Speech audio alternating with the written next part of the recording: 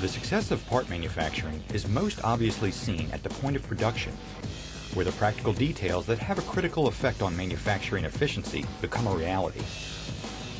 It's on the shop floor that we see the issues that result in extra cost, delays, or less than perfect product quality. But what happens in the complex world of production is based on a plan. The manufacturing plan that specifies what will be made, through what process, and with what resources and equipment.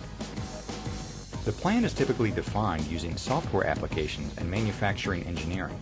For example, CAM or CMM programming software generate output to drive machining or inspection equipment.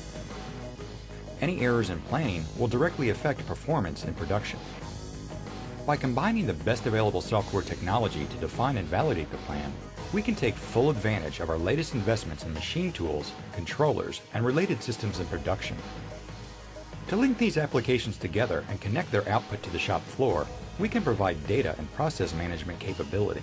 From the deployment of individual applications to a complete system, the Siemens Part Manufacturing solution enables you to perfect the plan and optimize your part manufacturing production.